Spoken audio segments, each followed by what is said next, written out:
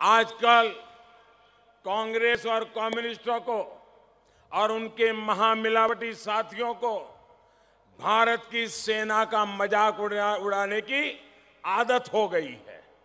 और जब भारत की सेना पाकिस्तान में घुस करके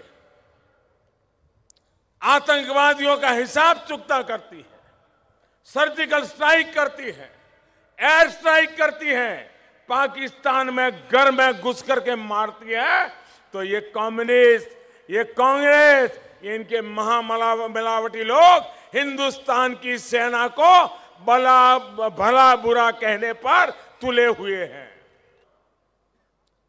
देश की सेना, उसका सम्मान देश की सुरक्षा से सीधा सीधा जुड़ा हुआ है। लेकिन कांग्रेस को उनके लिए ये अब तक सरकार में जो भी भागीदार रहे उनके लिए देश की सेना और सुरक्षा और डिफेंस मंत्रालय सिर्फ़ सिर्फ़ एटीएम बन के रह गया है, उसमें से रुपये मारना यही उनका काम रहा है।